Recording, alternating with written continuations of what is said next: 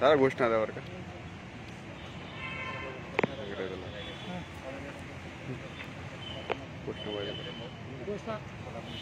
All India banker सेनेचा विजय all India banker सेनेचा ऑल इंडिया बँकर सेनेचा संघर्ष नायक दीपक भाई तुम आगे बढ़ो हम तुम्हारे साथ हैं संघर्ष नायक दीपक भाई तुम आगे बढ़ो हम तुम्हारे साथ हैं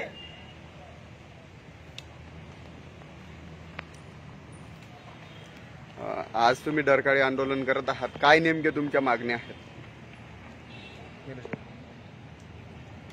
ऑल इंडिया पॅन्थर सेनेचे राष्ट्रीय अध्यक्ष दीपक भाई केदार यांच्या आदेशानुसार आज संपूर्ण महाराष्ट्रातून डरकाळी आंदोलन आम्ही छेडलेलं आहे.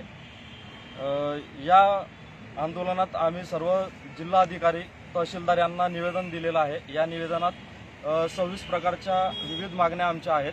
त्यामध्ये प्रामुख्याने महाराष्ट्र राज्यामध्ये दलितांवर होणारे अन्याय अत्याचार असतील बौद्ध समाजावर होणारे अन्याय अत्याचार असतील त्याच्यावर कायदेशीर जो मार्ग आहे ॲट्रॉसिटी कायदा आहे त्याची योग्यरित्या अंमलबजावणी व्हावी अशी मागणी आम्ही या निवेदनातून केली आहे. तसेच पदोन्नती आरक्षण समितीवर अजित पवारांसारख्या जे आरक्षणाला विरोध करता अशा लोकांची नेमणूक केली आहे त्यातून त्यांना हटवण्यात यावं ही सुद्धा मागणी आम्ही या निवेदनातून केली आहे. तसेच आघाडी सरकारची स्थापना झाल्यापासून जे ॲट्रॉसिटी समी कायद्यासाठी जी समितीची स्थापना करण्यात आली पाहिजे होती ती समितीसुद्धा स्थापण्यात आलेली नाही आहे. त्यात जे नोडल ऑफिसर आहे त्यांनी एक सुद्धा बैठक आयोजित केली नाही आजपर्यंत. तर अशा अधिकाऱ्याला सुद्धा निलंबित करण्यात यावं त्याला हटवण्यात यावं त्या ठिकाणाहून अशी आमची मागणी आहे. तसंच विद्यार्थ्यांच्या ज्या विविध समस्या आहेत त्या समस्या सुद्धा आम्ही या निवेदनात मांडल्या आहे आणि शासनाने आमच्या मागण्यांकडे लक्ष देऊन आम्हाला योग्य तो न्याय द्यावा अशी आम्ही अपेक्षा करतो आहे. आज कोरोनाच्या काळामध्ये शासकीय नियमांचं पालन करण्यात यावं यामुळे मोजक्या कार्यकर्त्यांच्या उपस्थितीत आम्ही हे आंदोलन करत आहोत.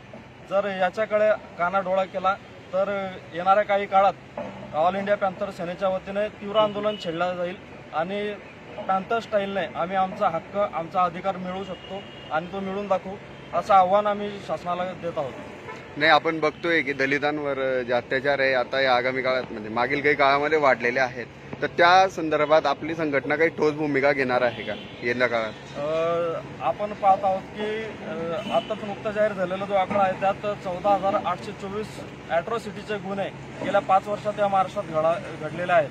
त्यातले बारा ते साडेबारा हजार गुन्हे अजूनही प्रलंबित आहेत.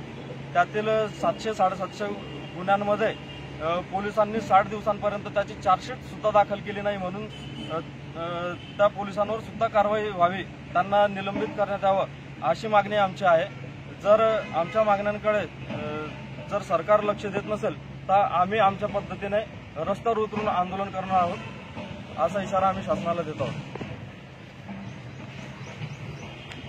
घोषणा ऑल इंडिया पॅन्थर सेनेचा विजय ऑल इंडिया पॅन्थर सेनेचा विजय दीपक भाई केदार आगे बढ़ो. हम तुम्हारे साथ है. दीपक भाई केदार आगे बढ़ो. हम तुम्हारे साथ है.